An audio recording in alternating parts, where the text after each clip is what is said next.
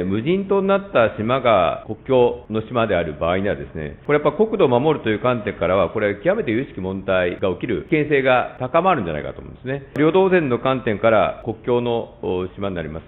奄美群島やですね、小笠原諸島のような島で暮らしていただいていると。住民がいて、それが存在し続けるということは、これは極めて重要であって意味があると思いますが、まあ、大臣はどのようにお考えになられるでしょうか？私も全く同感でございます。まあ、こうした国境離島は、住民の方々が継続的に、また歴史的に居住しているからこそ、重要な役割を担っていると考えておりますロシアに不法占拠されている北方領土でありますけれども、あの大都会からですね移住してきたってんですね、島に来ると、もう税制はじめ、いろんな優遇措置があるんですね、国境を守ってくれてるんだと、そういう人たちに対してですね、もっともっと今よりもやっぱ手厚い対応措置を国としてですね、取っていく、ここは守るんだという、やっぱり強い意志を国家として示すということは大事だと思うんですね。